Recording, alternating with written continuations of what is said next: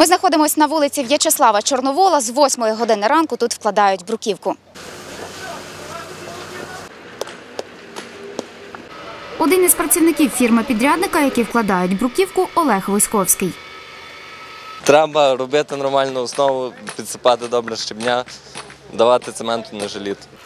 На 15 годину працівники фірми-підрядника вклали майже 80 квадратних метрів бруківки. Усього мають вкласти близько тисячі квадратних метрів, розповідає начальник відділу технагляду Тернопільської міськради Олег Вітик.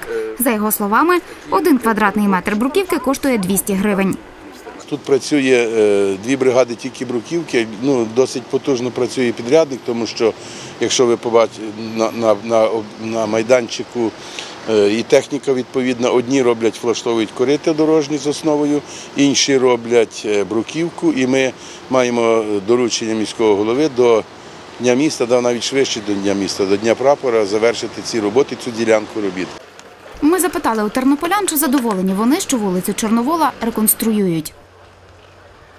Дуже добре. Тут, певно, 100 років не було ремонту і дуже добре, що роблять. І зроблять для людей гарні доріжки. Ми почекаємо, зараз помучимося, але буде дуже добре. Можливо, ті кошти можна було кудись інше спрямувати, але як вже роблять, то вже, вже не можуть так залишити, як є. Олег Вітик каже, ремонтувати другу частину вулиці Чорновола у Тернополі цього року розпочали на початку липня. Ірина Терлюк, Андрій Бодак. Новини на Суспільному. Тернопіль.